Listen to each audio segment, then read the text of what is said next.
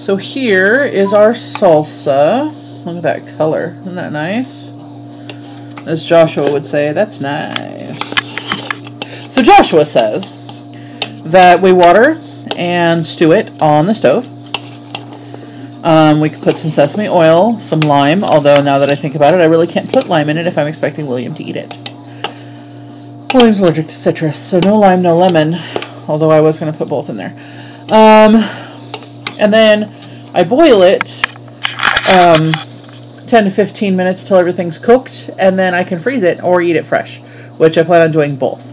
So this will make taco night super awesome.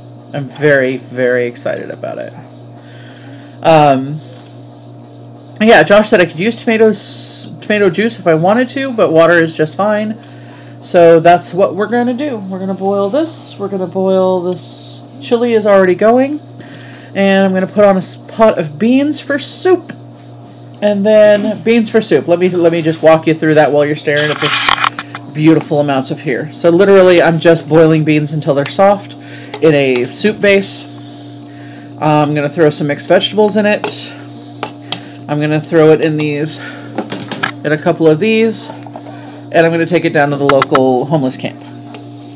They love it. I do it all the time. I might throw some ham in it. Who knows? But that's basically what's going to happen to the beans. The rest of the beans that didn't fit in the chili. Okay, so I believe this is most of my stuff. Um, once I get this on the stove and boiling, I will make uh, another portion of this and loop all the videos together and then post them tonight.